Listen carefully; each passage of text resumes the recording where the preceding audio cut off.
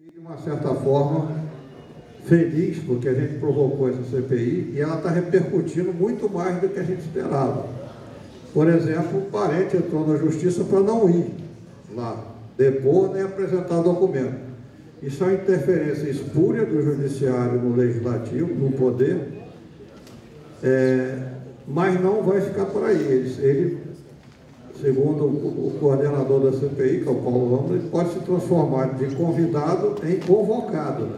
como é, isso aí não é, CPI não é uma brincadeira, não é, não é uma audiência pública, não é um, um seminário, é um negócio de investigação. Então eu tenho esperança que vai dar resultado, e mais ainda porque tentaram tirar um dos componentes da CPI. Né? O presidente da Assembleia mandou tirar o Geraldo Moreira, que é um grande nacionalista, defensor da Petrobras, substituir por um picareta. E não, não aconteceu. A questão da Petro não é uma questão isolada.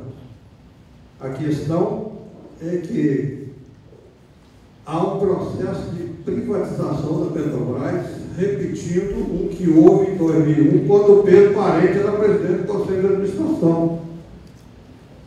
Nessa ocasião, ele fez uma troca de ativos, deu prejuízo à Petrobras enorme, e aí foi suspenso o processo na Justiça. E agora ele está retomando e está vendendo ativos da Petrobras, e a Petros faz parte desse processo, porque a Petros é uma pedrinha no sapato.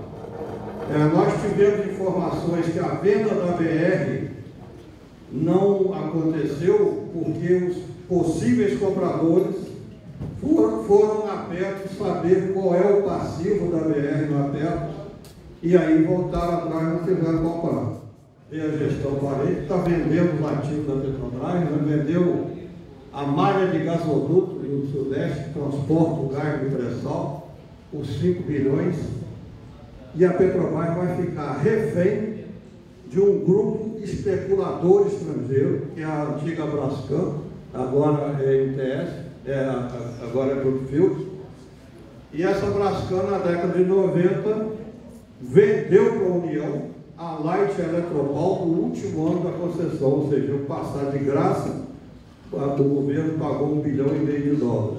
Então é um grupo inidôneo, denunciado no mundo inteiro por corrupção, que comprou a malha de gasoduto que transporta gás de pressão.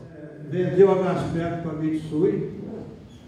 A Mitsui está citada no Lava Jato e comprou pela metade do preço. Estava tentando vender 51% da BR, e aí, como eu falei, os possível compradores foram ver na perto do débito da BR e aí parece que desistiram e agora vão fazer um lançamento na Bolsa de Valores. Mas era um absurdo completo que a BR é a maior geradora de caixa para a Petrobras. Então, se você tem uma dívida e tira o seu gerador de caixa, você fica com mais dificuldade de pagar essa dívida. Venda dos campos de área de Lapa, o valor irrisório também. Doação dos campos, do campo de Xerelete para a Total. Venda da Liquigás para outra parte. O, o, diretor Ivan Monteiro era presidente do Conselho de Administração da outra parte. Veio para a Petrobras e vendeu a Liquigás para a sua empresa por um valor absurdamente baixo.